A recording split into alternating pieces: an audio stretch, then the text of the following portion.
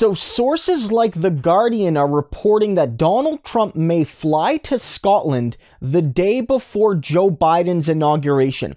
That on January 19th, 2021, Trump may flee the United States for Scotland.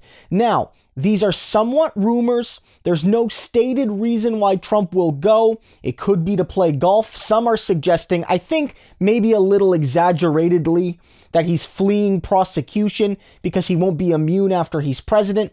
But in any case, Donald Trump is leaving. And what that does tell you, if anything, is that the man knows he didn't win, or the man knows that his protesting about the election will amount to nothing. If you don't believe me, listen to this clip, which is from Fox Business, and it's Stuart Varney asking Laura Trump, Eric Trump's wife and one of Donald Trump's spokespeople from the campaign about this. Why would he be going to Scotland the day before the inauguration if he was expecting to be inaugurated on the 20th?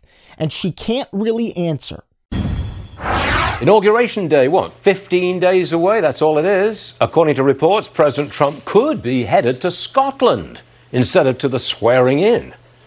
Lara Trump is with us. Lara, welcome back. It's been a long time, but welcome. It's great to see you again. Can you, um, can you straighten us out on this? Because we got reports from Scotland that an American plane, a White House plane, is booked to land near President Trump's resort in Scotland on January the 19th. What's his inauguration well, day plan? well, I mean, I think we have to see still what happens tomorrow. Stuart, thanks for having me back. Happy New Year to everyone. I, I don't really know uh, yet anything about Scotland. Um, look, there is a reality that it could be Donald Trump who gets inaugurated on January 20th. We still have to wait and see what happens. We have a bunch of senators that are calling for an investigation now, a 10 day investigation and a commission mm. to see about all the voter fraud and all the questions surrounding I, I, Lara, this particular for, election. So, so forgive me, forgive me for interrupting, Laura, but I think that's a, a real stretch. That is a major league's long shot to suggest well, that Donald J. Trump will be re inaugurated 15 days from now. But anyway, well, okay. it, it may be a stretch, but uh, I think my point is there's a lot that has to happen between now and inauguration day.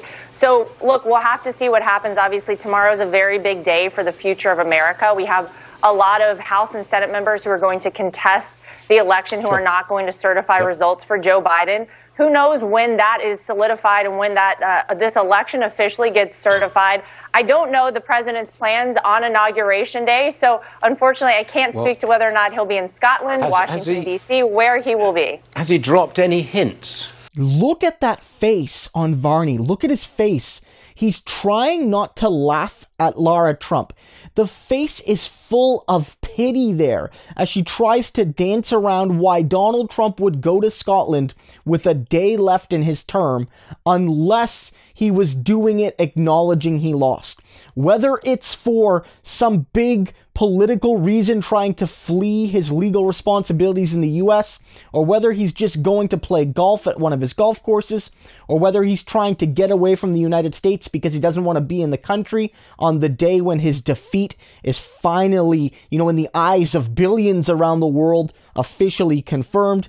He is not going to be president, and Trump knows it. And this has been commented on by Scotland's First Minister, Nicola Sturgeon. She's basically said, look, I don't know why he's coming. I don't know if he's coming, but he's not allowed here because COVID restrictions require entrants have an official, essential reason to come, and he hasn't provided any, and golfing's not good enough. Here's what she said, and she roasts him while she does it. I have no idea what Donald Trump's travel plans are.